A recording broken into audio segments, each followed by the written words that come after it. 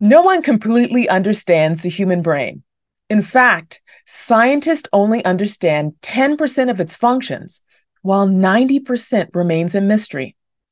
If scientists can map the human brain, they can help humans heal from brain degenerative diseases. But can they do it? Do they have the new technology to do it? Is there a way to actually map the human brain? In this particular video, we're going to see how artificial intelligence is going to be used to map the human brain. Hi, I am Olympia LePoint, host of Answers Unleashed, seen on AnswersUnleashed.com. I am the author of the award winning book series, Answers Unleashed. If you know anything about my background, you know that I helped launch 28 NASA space shuttle missions into space. And the same mathematics that I used to launch the rockets is the same mathematics used in artificial intelligence. And if you've been watching my videos recently, you know that I have been creating a series of artificial intelligence educational videos to help us understand the emerging technology. This particular video is helping us understand how researchers are mapping the human brain with artificial intelligence. Now, this particular subject is very fascinating for me. If you know my background, you know that I wrote my second book, Answers Unleashed The Science of Unleashing Your Brain's Power. And I talk about the power of the human brain and how our brain operates, as far as we know. I love finding out about artificial intelligence. So when I had the ability to look at how the brain operates with this new type of project that is coming out, as well as use my research background and artificial intelligence knowledge, I became inspired to create this particular video for you and I. This particular video helps us understand the new brain mapping project. It's going to help us understand why it's being performed, how artificial intelligence is being used to create the brain map, and the dangers as well as the benefits of the project. I hope you enjoy this particular video. I love creating science videos for both you and I because I love science, and I hope that you enjoy it too. So let's start the lecture. This particular lecture is Brain Mapping with Artificial Intelligence. I am Professor Olympia LePoint. The brain is a phenomenal, phenomenal organ, and it operates in such an amazing way. In this particular lecture, we're going to understand how artificial intelligence is going to attempt to model the amazing brain that we have and we're going to see a couple of things in this lecture. We're going to understand the Human Connectome Project, HCP, and it's being led by the National Institutes of Health. And the Connectome Project is a major undertaking that will use artificial intelligence technology. The National Institutes of Health is a part of the U.S. Department of Health and Human Services in the United States Medical Research Agency designed for making important discoveries that improve health and save lives. And there's a organization that's working with it. Seattle's Allen Institute will spearhead a project to create an atlas of the cells in the human brain as part of a, a huge project. And the this huge project is being awarded to the Institute and its collaborators, and it's a five year project that builds on the Allen Institute's previous endeavors of mapping the location, identity, and function of cells in the brain. In this particular lecture, we're going to look at three things. Why is brain mapping being performed? How are scientists mapping the brain with artificial intelligence and what are the benefits and dangers of this work? I was so fascinated as I did this research and I'm sharing it with you today. Mapping has been happening for a long time. And let's take a look at that. We're going to look at the science history of mapping so we understand why mapping is important and it's not just with the brain mapping has been happening with it's been happening with other areas and we're going to see that if we consider the periodic table it took a while for scientists to determine where items were elements were on the table to see how they would react. It took a while for researchers to develop a map of the globe. It took a while for scientists to understand that different locations have different type of um, areas and, and mappings according to it. And then if we consider the DNA strand, it took years for scientists to understand where on the DNA strands were there mutations so they could identify how people uh, could look for certain type of ailments. The human brain is no different. We have the ability to be able to potentially map different areas of the brain. Like, for example, this center part, the red part, is the amygdala that uh, represents the fight, flight, or freeze response when people are scared. And that part of the brain operates with other parts of the brain if fear is activated in the same way that the fear activates, there's certain ways in which the brain can malfunction and it can heal itself depending on what's happening in the brain. And researchers are trying to figure out how that mechanism of healing works.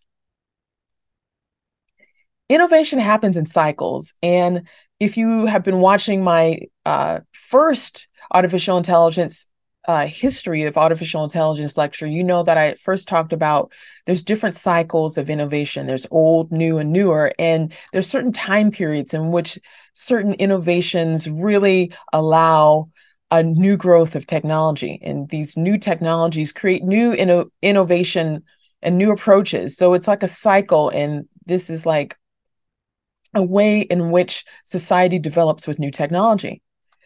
Well, mapping has been around, and every 50 years or so, there are new mapping opportunities and blueprints. For example, it's how atoms work, continents move, how the DNA has its structure, how roads are created, even how human cells operate. And we can consider that with the example of mapping from the periodic table, the map of the Earth, the human genome, and GPS navigation. So let's look at that. If we look at this on a timeline, the periodic table took years to develop from 1789 to 1869. Like, for example, the French chemist Antoine Lavoisier created a first grouping of these materials and nonmetals. And in 1869, there was a scientist who discovered the periodic table while attempting to organize the elements. And this happened in February of 1869 mapping of the continents had a similar type of history and it's still being mapped out. For example, is the 1820 to 2023 was a map of the continents. And even in 2023, there was a new continent, continent uh, found, and it was found through satellites. It was so fascinating. Uh, but in 1921 was the first map that actually showed continents with very little distortions. The human genome was a different type of mapping project that happened from 1998 to 2003, and it was the Human Genome Project. And it looked at 25,000 human genes to create a model. This mapping of the DNA strand. And then GPS was a different type of model. The GPS roads were being created from 1957 to 2023 using satellites. And this GPS was global positioning system, and it began in 1957 with the United States uh, forming a satellite navigation experiment, and it continues today with monitoring submarines carrying military missiles. So this process and timeline has been happening for a while. For continent mapping, human genome in the GPS, there's now another item that's added to the timeline the brain mapping with artificial intelligence, and that's happening today. Brain mapping is a project to construct brain maps and analyze their anatomical structures in neurological and cognitive science using magnetic resonance, MRI sensors, and machine learning and generative AI. So, we're going to look at now the brain mapping with artificial intelligence. So, this part here of brain mapping with artificial intelligence is what we're going to look at now. Why is brain mapping being performed? But before we can answer that question, we're going to answer a series of smaller questions. And this will help us understand why understanding the brain and mapping the brain is of importance. Here's some basic answers to some basic questions. Why is brain what is brain mapping? That's that's the that's a good question.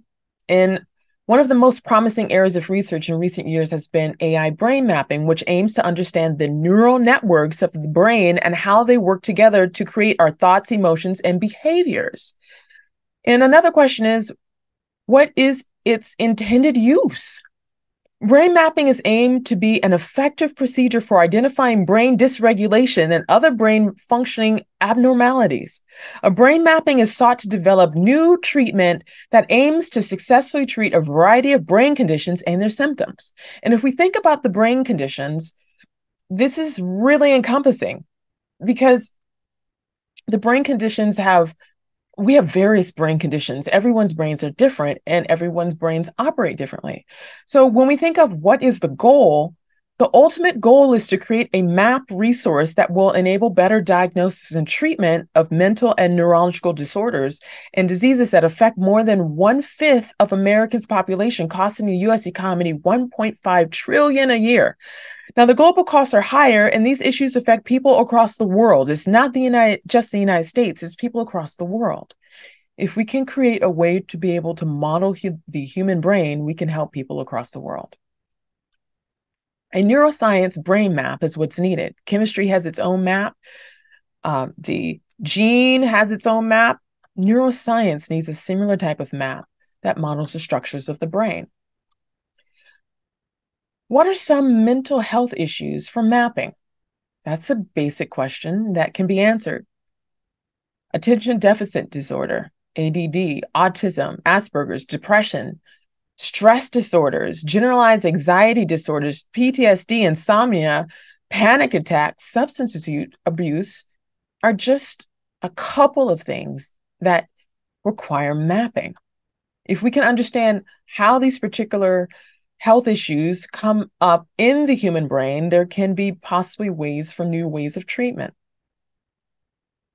There's medical brain issues for mapping. And this list comes from the Cleveland um, Clinic. And this is just fascinating. It talks about um, Alzheimer's, it talks about a frontal temporal dementia, it talks about a multiple sclerosis, a Parkinson's disease. These are all type of brain degenerative issues that's medical issues in which scientists are trying to find a way to reverse if possible. So, what makes the process important of this mapping? The human brain is constructed of multiple networks of interconnected neurons. These networks are responsible for organization, time management, memory, mood, emotional regulation, language processing, attention, understanding nonverbal social cues, and more. Ideally, these networks have strong connections with each other that help the brain function well. When there is a communication breakdown between these networks, the patient may start to experience reduced cognitive functioning, emotional dysregulation, and other debilitating symptoms. Brain mapping investigates each of these networks to determine any misfires or mis or, or dysregulation. So as we understood those basic type of questions and answers, now let's look at how are scientists mapping the brain with artificial intelligence specifically. Scientists are working with companies and new AI to map the brain.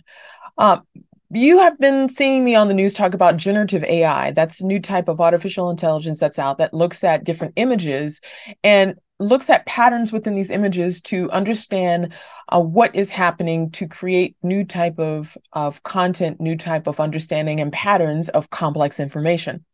That type of information and approach is being used by scientists. Artificial intelligence brain mapping is the use of artificial intelligence algorithms to analyze brain scans and other data to identify patterns and connections within the brain. This approach has the potential to unlock new insights into how the brain works and could lead to breakthroughs in diagnosis and treatment of neurological and psychiatric disorders. And this this is really cool and I want to show this to us. This is an artistic artwork of how the human brain is constructed. The human brain is constructed of multiple networks of interconnected neurons. These neuron networks are responsible for organization and time management, memory, mood, emotional regulation, language processing, attention, understanding nonverbal social cues, and more, like we talked about before. And this is fascinating as, as I point this out. This is like a dendrite. This is like you see this right here? This is like the dendrite and these like branches here these are dendrites. And this is like a neuron this like ball this is like a cell.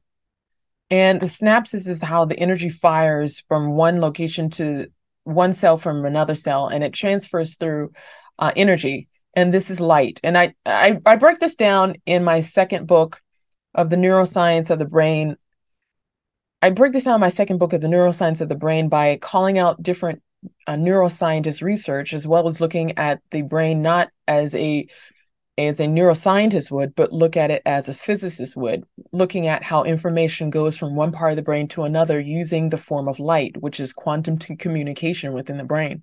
And that's that's my particular work of how i look at the brain with physics and mathematics. So the synapses i look at it as light information from light being transferred from one place to the brain to the next place of the brain. And that's how I look at it as a mathematician. The brain contains billions of neurons, each with its own unique connections and patterns of activity, and more of the dendrites exist. These, these dendrites house information between the neurons, and it's really powerful.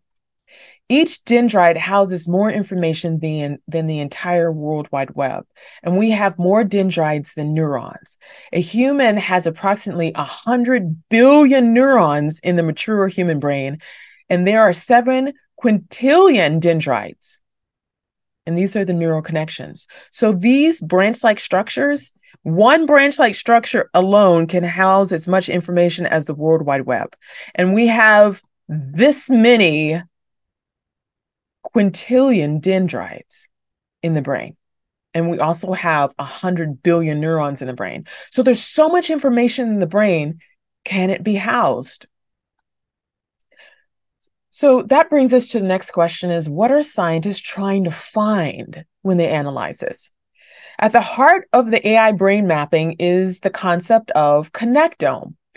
The Human Connectome Project, HCP, plans to do for the brain what the Human Genome Project did for genetics. The connectome refers to the intricate networks of the connections between the neurons in the brain. By mapping the connectome, researchers hope to gain a better under better deeper understanding of how the different areas of the brain communicate with one another and work together to create complex thoughts and behaviors.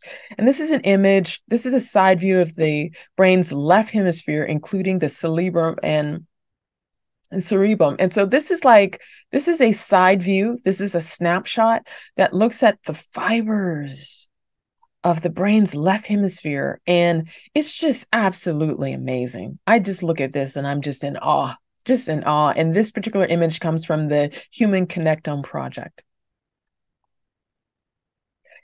A map and baseline to a healthy brain is what's being sought. Charting the human connectome in healthy children and adults will help researchers discover the role that the brain circuitry plays during development and aging, as well as inform our understanding of numerous brain disorders, cognitive decline, and mental illnesses. And this image it's a large red circular bundle is a part of the corpus callosum. I hope I'm pronouncing that correctly, but if not, I'll find out how to do it, which connects the left and right hemispheres. And this is just this is just absolutely amazing. And I talk about this in my book where we have the connections in our brain that houses the ability to find answers. It's not just left side of the brain or the right side of the brain, is it, but it's also the connections. And so that's what I talk about in my book. And in this particular project, this Connectome project, is literally looking at what I first theorized in my book. And we're going to talk about that in a little bit. Machine learning and generative generative AI is going to be used with this particular project. And let me break that down for us so we can see what it looks like. If you saw one of my earlier lectures where I talked about the civil rights and understanding how AI has a feedback loop and how not all AI works op- works correctly or operates correctly based on four different areas data design use in the real world we can apply that particular concept to understanding the machine learning on how that's being applied with generative AI to these particular data sets. First is looking at the data itself. The project I can understand is looking at the images that exist from brain scans. And these images from brain scans are going to be be used as the data that's going to feed into the machine learning and the generative AI to help people understand what the intricacies are within the human brain. And this data is going to be understood and hopefully modeled correctly. And that brings us to the second point. There is going to be a need to create an accurate artificial intelligence algorithm that can predict and understand how the connections of the brain are operating and how they're firing with the synapses and how the information from the dendrites to the neurons are being connected and housing information and what parts of the brain are giving information at what time. If the scientists and mathematicians and researchers can find the mathematical algorithm, the mathematical model to determine how the brain works, then they will apply it to the use then this algorithm is going to be applied to understanding a real life scan to see if there's an ability to predict what's going to happen next based on the type of data and the type of algorithm that was defined. And then if this works correctly and if the model, the mathematical model actually works to predict something that is existing on a scan, then it would be applied to the real world within type of MRI imaging. So again, if we backtrack, first the data has to be captured from real life people and that data be analyzed. Then there has to be an artificial intelligence algorithm that's created that's going to be accurate to be able to model and predict what is going to happen in certain areas of the brain. And based on all that data, if it's correct, only if it's correct, then it can be applied to the real world to understand more human brains, and then that data is collected again. Now, machine learning is applied to fMRIs. Now, let's break down what this is. While an MRI scan allows doctors to examine a patient's organs, tissues, or bones, an fMRI looks at the function of the brain.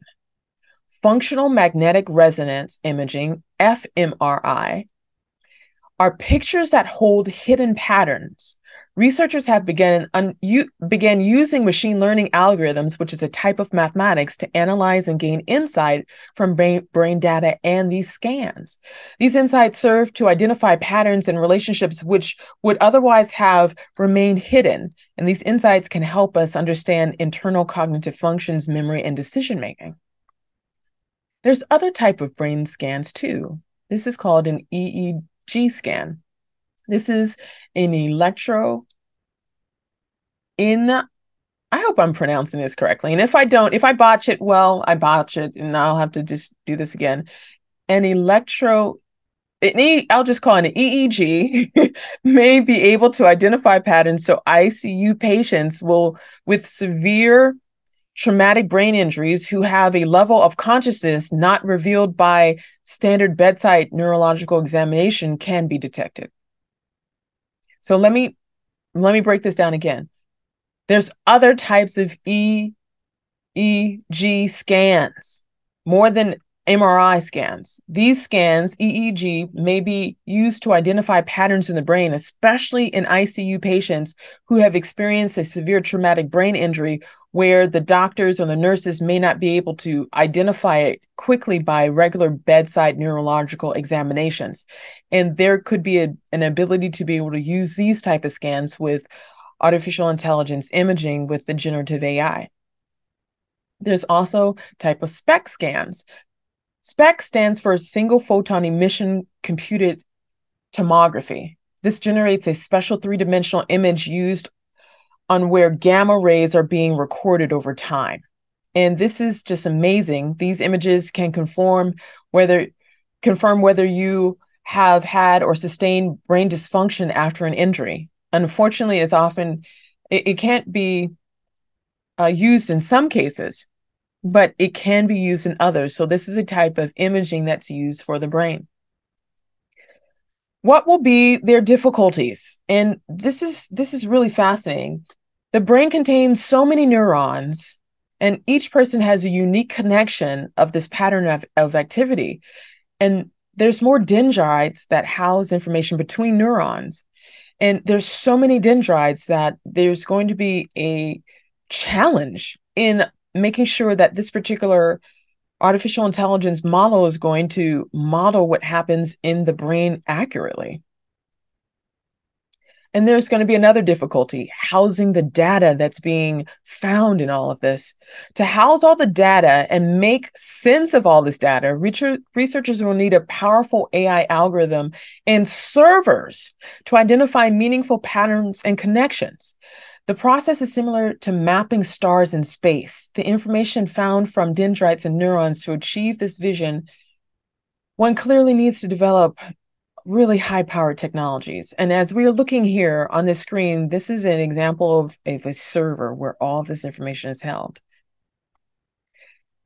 Additional difficulties will be creating the map. Mapping of the brain is like mapping solar systems in space. To date, it has not been possible to reconstruct the full activity patterns of a single region of the brain while imaging technologies like fMRI or or the other uh, types with this uh, MEG can capture whole brain activity patterns. These techniques lack single cell spe- specificity and, re- and require deep resolution to understand how these neurons fire. So, this information has to be recorded in complete circuits, like the beginning to the end and understanding the chain of events of how it manifests within a dendrite and how the the brain fires based on information. It's going to have to have a start and completion in order to look at the movement of how energy fo- focuses itself and transfers itself from one area to the brain to the next. And each person's brains are different. And this is something that I figured out, and you're going to get this here nowhere else. Every person's brain continuously reshapes itself through neuroplasticity. And every brain is 100% different. No two brains are alike. One of the key challenges of AI brain mapping is the sheer complexity of the human brain itself. And it's still a mystery how the brain reshapes itself based on human interactions and observations. And Albert Einstein called these interactions quantum entanglement. So basically, uh, Albert Einstein called this spooky entanglement, and that's why I put that particular video, uh, particular image there, because it's still a mystery how people's brains reshape based on what they experience and what they observe, and why two people's brains will be different. For example, you can have two twins that have the exact same DNA, but because of the fact that one twin has experienced one set of circumstances and the other twin experiences something else, you'll have completely different DNA patterns within the cells of the twins, even though they were born with the same DNA pattern. This same type of philosophy applies to the human brain. Even though twins can be born and go to the same place, their brains operate differently because of what they experience on Earth in different locations. I talk about this specifically in my third book, Answers Unleashed 2 The Science of Attracting What You Want. I talk about how brains make decisions, and I present a mathematical model called quantum deciding that shows how brains reshape based on how they interact with people in different type of situations. And that mathematical model is called quantum deciding, where people's brains reshape based on their decision making from certain experiences and observations. And in 2017, a rocket scientist proposed a theory, an AI brain model, and that was me. I share the mathematical functions to predict how the brain reshapes itself through experiences. And I wrote the STEM book, Answers Unleashed The Science of Unleashing Your Brain's Power, explaining a theory of how the brain has energy released from three parts the brain's left, left hemisphere, the brain's right hemisphere, and the center, which consists of all brain connections. Together, this unit forms a three sided brain, which I call a tria brain. I propose this as a physics and mathematical model to predict how the brain reshapes itself and rewires itself. I'm not a neuroscientist. I'm not a psychologist. I'm not a um, a person with a medical degree. I am a person with a mathematics degree. So as a result, I looked at the brain with a mathematical lens and physics lens to understand how the brain reshapes with uh, energy, mass, and light Einstein's uh, theory of relativity to understand a potential model that could be used within artificial intelligence brain models. What are the benefits and dangers of this work? And I know, I know you've been thinking this as you've been watching this video. I know that you've been thinking, I wonder if this is a good thing. Well, it's a great thing and it can be a potentially dangerous thing. And it's all depending on how it's used. And I'm a real, real proponent of making sure that when we have innovation, we understand the benefits as well as the risks so we can identify the risk in advance and mitigate them in advance through uh, thinking about the future. What are the benefits? The Allen Institute can build on the temporary forms and, and mapping that they already have. The Allen Institute can build on the primary mapping project. Four additional related projects will allow scientists to do the following map the mouse brain through its development. If any of you are familiar with science, there's a lot of tests done on the human brain and the mouse's brain because the mouse has a similar neurological structure to humans. And so that's why the little poor mice are tested in labs, unfortunately. And it's because that the mouse has a similar type of neurological structure. So the map of the mouse brain through its development is something that it can be mapped also with this particular genome project. I'm sorry, this particular connectome project. The link the brain cells uh, is another opportunity. You can link brain cell type with function in regions of the mouse brain that process visual information. And scientists will capture the activity of neurons as animals perceive their visual environment and react to it. So that's another sep- separate type of output from this work. And another benefit is that you can create a public web based knowledge platform to showcase the discoveries. And the fourth is you can build an outreach and coordination center with brain mapping research. So, this is the benefits of this particular type of research of the Connectome project, where you can start to understand how different different nervous systems are going to operate based on on these prediction models. And the benefits also include more aspects. The new endeavor will extend much analysis to the entire brain of humans and, and other uh, creatures. The output would include a cell type reference set with standardized names, a spatial spatial map of, of sections of the brain with cell types and pinned to them, and a way to integrate the information in three dimensions across data sets, which is amazing. And the project is aimed at understanding what common people share using data from just a few inter- just a few individuals. So these are the dangers. And I know you were waiting for this. And this is I thought out of the box. I I can I can see the future many many times and so i asked what could more than likely happen in the future and this is what you're going to get from this video and nowhere else this is what i saw as potential issues with this particular technology so there's warnings to this the dangers that I foresaw that humanity has the ability to mitigate so this doesn't happen, I'm going to share here. There is a there are concerns that the that the information could be used in harmful ways if the information is in the wrong hands. So if you look at three to four different risks, I've identified them. You can have the wrong sample brain population. You can have the wrong artificial intelligence used. You can have the wrong agencies using the bioinformation. And you could have the wrong technology using it. And so we're going to look at this specifically. One of the dangers is that you can create wrong information by having the wrong people to start with. If there's not a correct set of humans selected for this particular project that will represent the total population of human brains, you may alter the brain mapping results.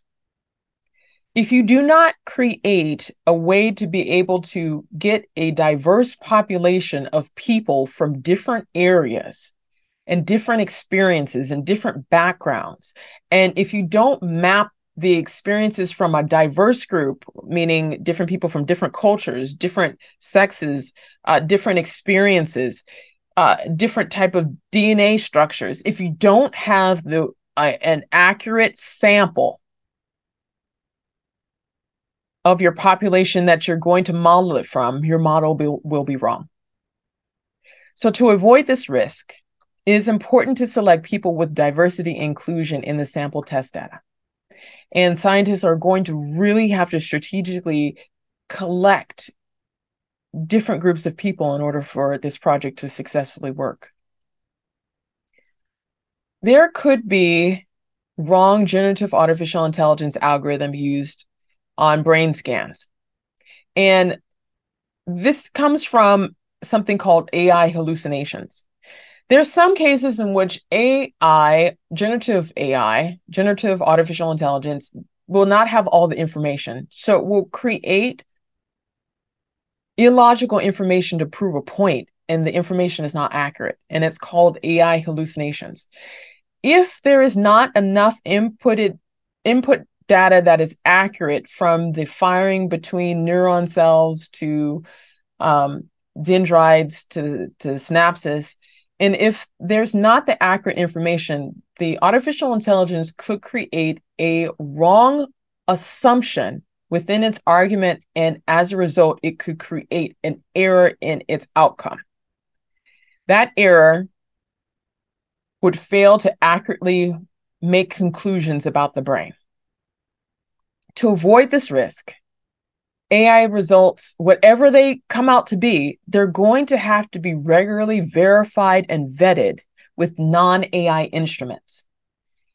You will have to be able to find a way to verify the information that the artificial intelligence is generating to ensure that the artificial intelligence isn't making up its own logic and own rules that is not accurate to how the human brain works. So I'm I'm speaking to some scientists that's watching this, and I have a feeling that when you watch this, you're going to know what I'm talking about, and you're going to get an inspiration on this video. You have to 100% check your results because if you don't, the artificial intelligence may make assumptions that will completely throw off your results. And if you do not check your AI results with non AI measurementation, measurement instruments, you will be operating to a false algorithm that could potentially wreak havoc in people's brains. So, this is extremely critical that the artificial intelligence is vetted for accuracy. Where are also the dangers? Biowarfare. There's biowarfare agencies that that are secret that we don't know about that could take this information and create biological pathogens that introduce brain diseases. Nations across the world can set laws on how this information can be used. Uh, just like there's nuclear agencies to ensure that nuclear uh, waste and nuclear contamination and nuclear type of usage happens in a certain way where where people stay safe i predict that nations across the world will have to find a way to set laws on how the particular information about how the brain is going to be used and this is the last type of danger in which i see robots can be trained with brain connective patterns. with large language models. And robotics can be programmed to think like humans without considering human safety and human concerns. There needs to be humans overseeing how this data is used and applied to develop humanity. And there has to be humans to determine how there can be mitigations of how, when certain artificial intelligence can be programmed into robotics where it doesn't risk human lives. Mm. I don't know who this this message is for, but you have to make sure humans are overseeing how any of this information is being programmed into robots and robotics and you have to create um, humanitarian shutoff switches on different type of robotics so it doesn't continue connecting in a way that could be destructive to how humans operate. The benefits are the focus in this connectome project. There are dangers and there are great benefits. If we find ways to create mitigations these are ways in which can prevent something bad from happening. If we plan for that and create ways to stop bad things from happening before they do, we can implement ways to reduce future risk and have safe technology. I hope you have enjoyed this lecture of brain mapping with artificial intelligence.